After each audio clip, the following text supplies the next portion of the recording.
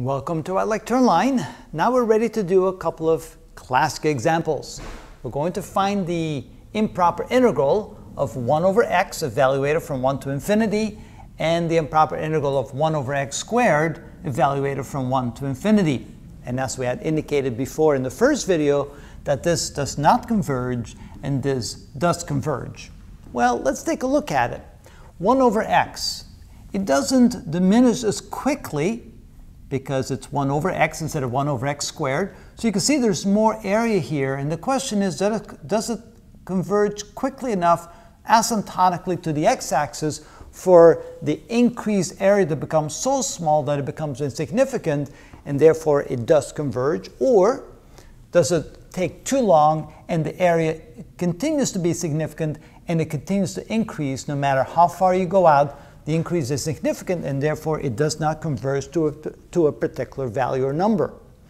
Here you can see that 1 over x squared converges a, a lot more quickly, gets much more quickly close to the x-axis as you get in this function, so there's more of a chance that it will converge. But now let's go ahead and work out the two integrals to see if it does, if they do or not. If we integrate 1 over x dx, of course, the integral of that is the natural log. And we're going to evaluate that from 1 to infinity. Now, in most cases, we can actually plug in the final limits and we get a good value. Either it converges or doesn't converge.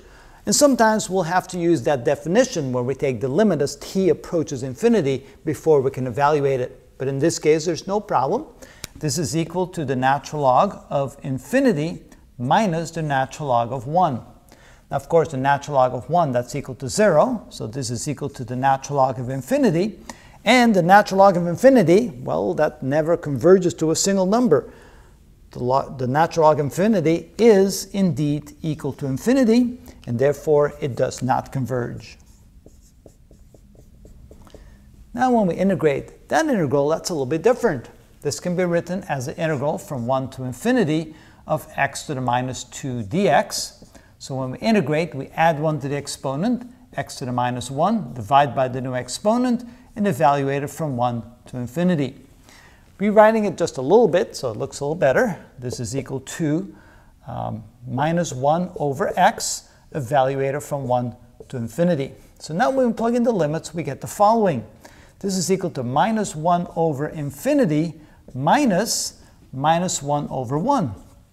So we plug in the upper limit and now subtract when we plug in the lower limit. Now negative 1 over infinity, that's always going to be 0.